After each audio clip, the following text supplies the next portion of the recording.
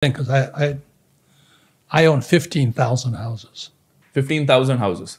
Okay. Which you give it out for rent. Yeah. Right. So nothing wrong with buying a house. Yeah. Difference is I use debt to buy it Okay. and I pay no taxes. It's not the house. It's not the stock. It's not the bond. It's not the ETF. It's your brains.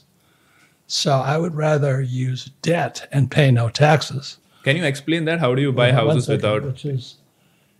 Capitalism. Right. We use debt and we pay no taxes. That's what I teach. So can you explain the mechanics of that in simple words for the audience? Like how do you? In 1971, this became debt. Okay. The only way it's created is somebody has to borrow money. So in your credit card, there's no money in your credit card. Right. There's no money anywhere. So the moment you use your credit card, money is created. Hmm. And